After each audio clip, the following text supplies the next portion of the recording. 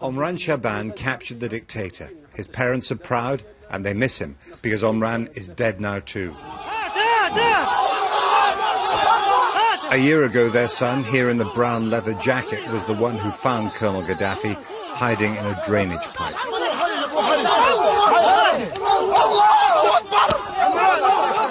As a revolutionary hero, Omran posed with the gun he took from Gaddafi.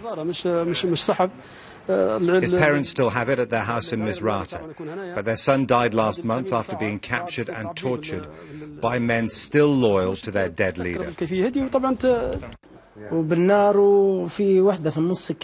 same time, Abdulaziz al Harous was tortured for about 60 days, he says, by Gaddafi's people, hung upside down, whipped, burnt, and given electric shocks.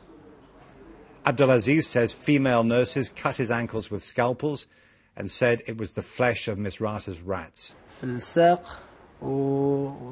Both tortured men were held in the old regime's last refuge, Beni Walid, near Misrata. This week it's been under attack by fighters loyal to the new order. During the civil war last year, Beni Walid helped prosecute the siege of Misrata. Its defenders never cracked, and now Misrata feels like a city-state. Tripoli Street was the centre of Misrata's war. Steadily, it's being rebuilt. Their victory museum is here, but winning the peace, unravelling Gaddafi's legacy, is taking time. Someone here told me that when Gaddafi was killed, Libya was like a bottle of cola that had been shaken for 42 years. When the top came off, everything overflowed.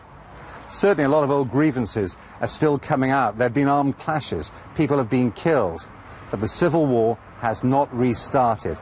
It could have been much worse.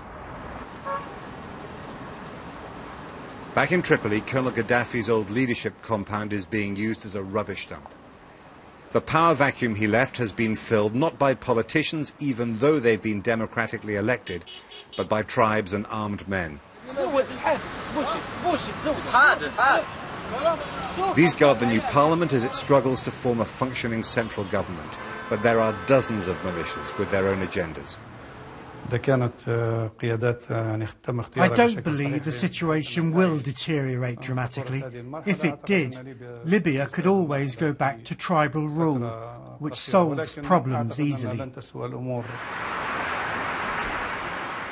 If Libya's Democrats can't start governing soon, the divisions in this country might overwhelm them. The traffic flows in Tripoli and so does hope. But time is not elastic. Jeremy Bowen, BBC News, in Libya.